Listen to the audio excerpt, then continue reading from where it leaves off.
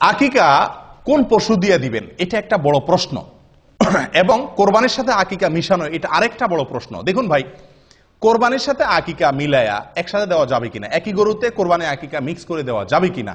আমাদের দেশের অনেক ওলামাইকরাম বা বেশিরভাগ ওলামাইকরাম যাবে বলেন। অথচ হানাফি মাঝহাবের একজন প্রসিদ্ধ আলেম পাকিস্তানের মুফতি রশিদ আহমদ রহমাহুল্লাহ, উনি আহসান ফতুয়া, একটা বিরাট বড় ফতুয়ার কিতাব লিখেছেন।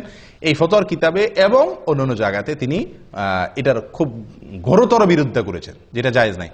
খোদ হানাফি মাঝহাবের ওলামা একরামেরই আমাদের হানাফি ওলামা অনেকে বিরোধিতা করেন। এবং এটাকে মোটের উপরে আমরা অ্যানালাইসিস করলে দেখি এই কাজটি সতর্কতামূলক হলো, নবী সাল্লাহ সাল্লাম যেভাবে করছেন ডাইরেক্ট সেভাবে করতে করতে পারা। সেটা কি? ছাগল দেওয়া।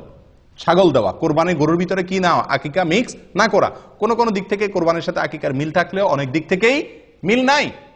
কোরবানের সময়, আকিকার সময় এক না, অনেক দিক থেকে বেশ কম আছে, অনেক দিক থেকে মিল আছে। যাই হোক, তো এই জন্য আকিকা কোরবানির সাথে না মিশাইয়া আলাদা দেওয়া উচিত। এটা একটা বিষয় গেল। আরেকটা বিষয় হলো যে, এক গরুতে কোরবানি দিলে আপনি কয় নাম কয়জনের পক্ষ থেকে চলে? সাতজনের। কিন্তু আকিকা দিলে এক। ছেলে হলে একটা।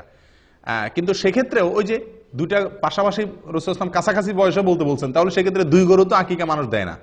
হয় একটা দেয় গরু, ওইটা দিয়ে দুই ছেলে হলে এক গরুতে সেরে ফেলে, অথবা এক গরুর সাথে বড়দের একটা ছাগল দেয়। অনেকে তো গরুতে অংশ দেয়।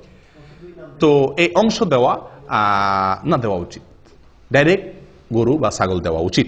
দেখুন ভাই, আকিকার তিনটা শ্রেণি আমি বলি। এক হলো আপনি গরুতে দুই নাম দিলেন। এটা হাদিসের থেকে অনেক দূরে হয়ে যায় এটা। এটা সম্পূর্ণ যুক্তি নির্ভর হয়। দলিলের সরাসরি দলিলের সাথে মিলে না। নাম্বার দুই, দুইটা ছাগল দেওয়া বা দুইটা ভেড়া দেওয়া। সরাসরি এটা নবী সাল্লাহ সাল্লাম আমার সাথে মিলে। এটা হলো এ ক্লাসের। আরেকটা হলো যে একটা গরু দিলেন, একটা ছাগল দিলেন। এটা কোনো রকমের চলে। বুঝে আসছে কথা? কিন্তু সবচেয়ে উত্তম হলো দুইটা ছাগল দেওয়া। আকিকা, যদি কেউ দিতে না পারে, সমস্যা আছে? কোনো, বিশেষ কোনো অসুবিধা নাই, হারাম না। কারণ এটা ফরজও নয়, ওয়াজিবও নয়। কিন্তু বিনা কারণে আকিকা কি করা উচিত না? ছাড়া উচিত না। আমাদের সমাজে অনেক লোক আকিকা দেয় না, অথবা বাপ হইছেন, ছেলের বাপ হইছেন, একটা ছাগল বলে যে সে একটা ছাগলের টাকা আছে আমার কাছে। সমস্যা আছে? সমস্যা নেই। আপনার যদি সামর্থ্য না থাকলে একটা দিবেন। কিন্তু আমাদের দেশে মানুষের জন্য আমি বলি যে একটা দিলে চলবে না ছেলের বাপ হইলে। কেন? কারণ ছেলের বাপে যদি বলে যে আমার সামর্থ্য নাই আমার তার সাথে কথা আছে। কেমনে সামর্থ্য নাই আপনার? আপনার সামর্থ্য নাই কেমনে আমার বুঝাই দেন? একজন বাপ সন্তান জন্মের পরে কমের পক্ষে দশ কেজি মিষ্টি কিনা লাগে আমাদের দেশে। লাগে কি লাগে না? হাসপাতালের ডাক্তার, আয়া, দারোয়ান, বাড়ি, শ্বশুর বাড়ি বন্ধু বান্ধব আশপাশের প্রতিবেশী, দিতে দিতে মিনিমাম দশ কেজি ইয়া লাগে। আপনার মিষ্টি লাগে। ঢাকা শহরে যদি আপনি মিষ্টি কিনতে যান, চারশো টাকা মিষ্টির কেজি। দশ কেজি মিষ্টির দাম কত হয়? চার হাজার টাকা। চার হাজার টাকা মোটামুটি একটা ছাগল পাওয়া যাবে কি যাবে না।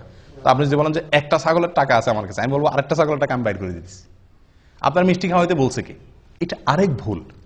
সন্তান জন্মগ্রহণ করার পরে আমরাও ভুল করি, যারা খাওয়াইয়া পাঠি তারাও ভুল করি, আর যে খাওয়ায় সেও ভুল করে। আমরা সন্তান হইলে বা কিছু হইলে বলি কি ভাই? মিষ্টি খাওয়ান আশ্চর্য। শরীয়ত আপনারা বলছে গোস্ত খাওয়ার অধিকার দিছে। আপনি গোস্ত না চাইবেন। আপনি চাইবেন লাহাম, আপনি চান মিষ্টি। এটা বোকামি না?